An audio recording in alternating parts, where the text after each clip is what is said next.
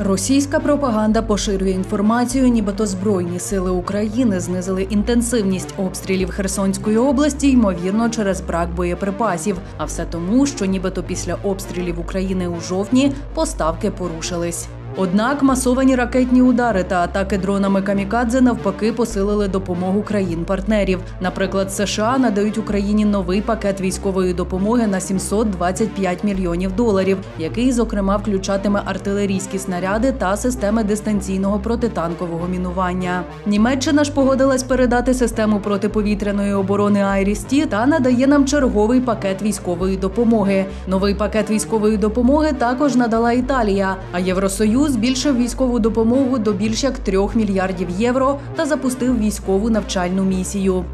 Наступний російський наратив, нібито Великій Британії не цікава допомога Україні, адже після відставки прем'єрки Ліз Трас країна зосереджена на внутрішніх перестановках.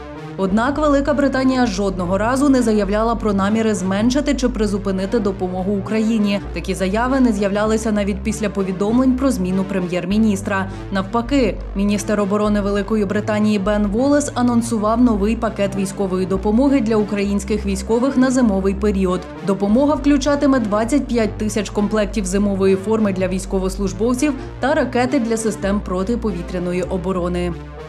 Ну і наступний наратив. Мовляв, колективний захід намагається втягнути Білорусь у війну, нібито було замало зіштовхнути лобами українців та росіян. Однак повномасштабну війну проти України почала Росія, і саме Росія розмістила свою техніку та особовий склад на території Білорусі для вторгнення в Україну під виглядом навчань. Відповідно, не захід намагається втягнути Білорусь у війну, а Росія, зокрема, продовжуючи перекидання техніки у Білорусь та використання її території як плацдарм для атак.